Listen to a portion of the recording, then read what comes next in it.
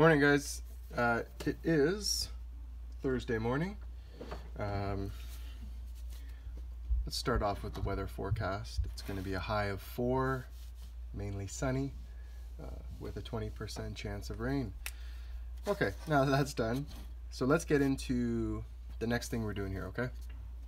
So uh, we can plot the ordered pair on the Cartesian grid, and so we can plot our shape. So let's let's translate that shape, okay? So first thing first, you're gonna need pen, ruler, piece of graph paper. So let's start this out.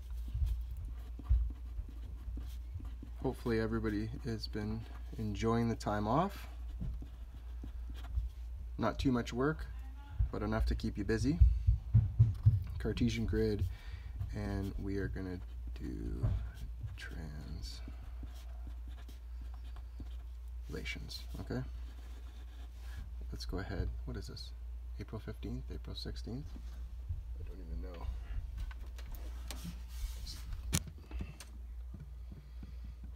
It is April 16th. Okay. One person mentioned that they couldn't access the, or a couple people mentioned they couldn't access directly from the channel. So I'm gonna make the, the videos public now so you can access from the link and from the channel, okay? So let's go, I can pick zero, let's go a 10 by 10 grid. So let's do that right now. So grab your pencil and we'll go One, two, three, four, five, six, seven, eight, nine, ten. One, two, three, four, five, six, seven, eight, nine, ten. 10.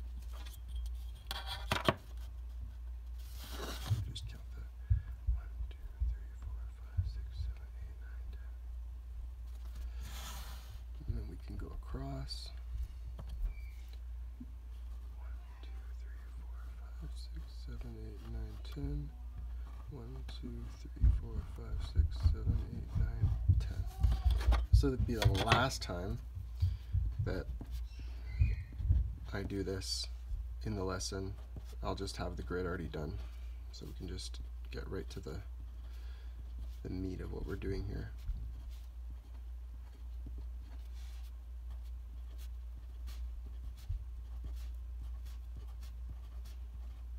10th remember wide of the sky. This is your vertical axis and then your x-axis is your horizontal axis. Okay, so we go negative 1, negative 2, negative 3, negative 4, negative 5, negative 6, negative 7, negative 8, negative 9, negative 10. If you hear my kids, it's because they're pretty rambunctious this morning. You can't leave your house for a month, that's kind of what happens five weeks now. Anyways, okay. Okay, so let's put a shape. Um, let's put a shape here. Okay, let's just put a triangle. Okay, so let's do one, two, and three. Okay, so I just randomly picked a few points. We have our shape. Whoops, a little bit overboard there. Okay. So here's our shape. So this is in a positive y quadrant and a positive x quadrant. Okay. So this is called the object. So our original shape. Okay. Whatever we're going to be translating, uh, we're going to call the object. Okay. Now, I I don't have the information right now in order to to move this okay so what I need is I need a a translation.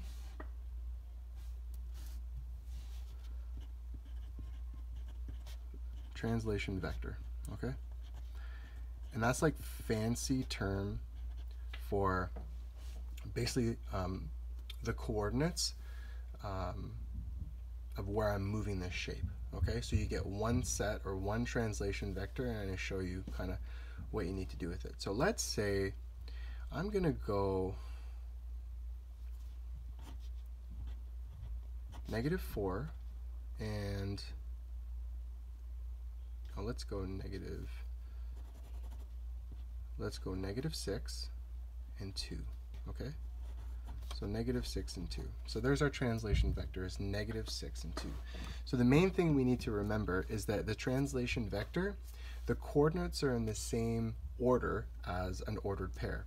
So this negative 6 is going to be on the x-axis, and this is going to be on the y-axis, okay?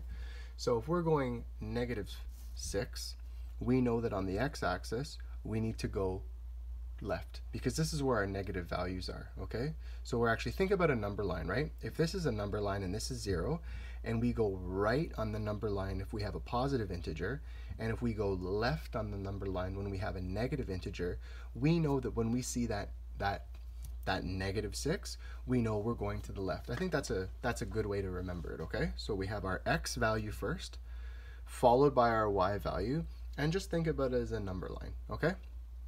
Um, so we have negative 6. So we know we're going to be moving, we're going to be moving to the left. So this shape is going to be actually moving on the horizontal axis, the x-axis, to the left, okay? Now let's look to y. So y is 2. That is a positive value. So if we look to the y-axis, the vertical axis, we know that, again, if we were to take a number line and not have it horizontal, but have it vertical, we know that going up is positive, and we know that going down is negative. So we've got a 2 there, so we know that that's going to be going up the number line, okay? So what I'm going to do, this is the object, okay? The image is going to be what's actually translated. So our, our original shape is our object, but the new one that we have is actually going to be called the image. And we'll put that in a minute. So we can have A, B, C. So we're going to have triangle A, B, C right there. Okay? So let's go ahead and do this, all right?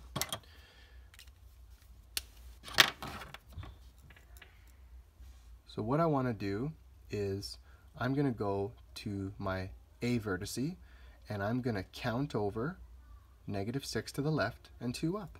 So let's do that. 1, 2, 3, 4, 5, 6. Okay? So I'm at 6 up. All right? And then we want to go up to 1, 2. So there's that value right there, or that new coordinate. If we go to B, we're going to go to the left negative 6, and then we're going to go up 2. So we're going to go 1, 2, 3, 4, 5, 6, 1, 2. There's that value right there. Okay? And then we got C right here. So we're going to go over 6 to the left. Remember, it's a negative value, and then up 2. So we're going to have 1, 2, 3, 4, five, six, one, two.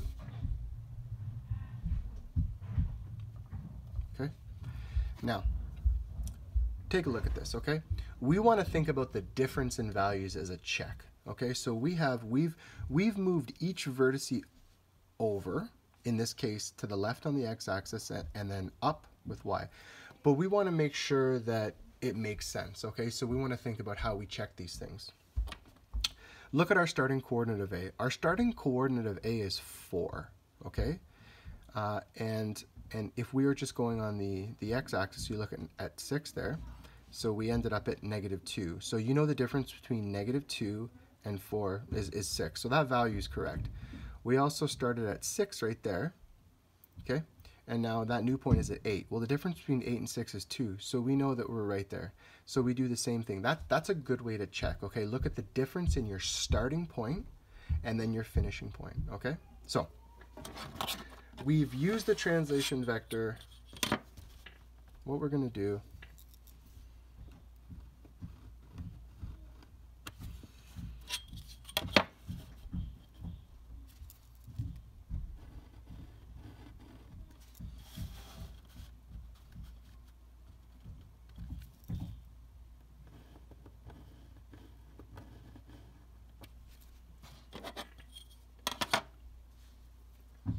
one, two, three, one, two, three, one, two, three, one, two, three, and then this is going through one, two, three, one, two, three.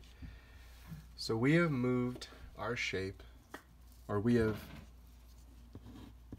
translated our shape with a translation vector of negative 6 and 2. Okay? So what we can do is um, we can go, we have a right angle triangle. So our top vertex A, 1, B, 1, C, 1, and this is our image. It's important to be familiar with the terminology that we're doing. Now, uh, here's a question for you, okay? So, how could we relate this to something we could use in in the real world, where um, you know we've got a set of coordinates that are allowing us to reposition something into a different location. Okay, R- like uh, it's not GPS here, right? It's basically just taking numerical coordinates. Uh, I guess GPS is part of it though, and and moving something into another area. Where is this used in in real life? I can think of a couple examples of where you would you would use this kind of vector, you would use this kind of um, coordinate system to reposition or to move something into another area. Think about that. That's that's one of your questions. Okay, so what you can do is you can just give me a written response um, with the uh, I think just probably the end of the activity that I'm going to post later on today. It's got a couple of questions. Um, or you can just write me in an email. Again, no pressure. Try to get it done when you can. Okay. If you want, and and I get more than let's say five or six responses, I'm gonna post another example of this tomorrow. I, I want to keep the lessons shortish, okay? Because I'm not in the room with you guys, so I'm looking at the camera. It's already 11:50. Okay, so there's one example. If you would like another example, I can post another example uh, tomorrow. I'm going to um, if it's required. Okay, that's really all the lessons for this week. It's Thursday, tomorrow's Friday. That's the end of the week. So we had just to recap here, we had the Cartesian grid. Uh, we had the terms that I asked you to look at. I asked you to do the three uh, the three questions. I posted the solutions for those. Okay. Now we have translating an object. I'm going to post on Google Classroom the link to this video and then also an activity sheet to, to go with it. Okay where it's just a few questions where you have to translate an object. So finish that up by Friday. Um, and again, I can post another example if I get enough people that say that they require it. If this is fine, fantastic. Okay. So, uh, and then we're going to start on Monday with reflecting an object. So if we had, let's say we had this object right here, what is that going to look like if we wanted to reflect it across the y-axis. So we actually take this and we reflect it over, okay?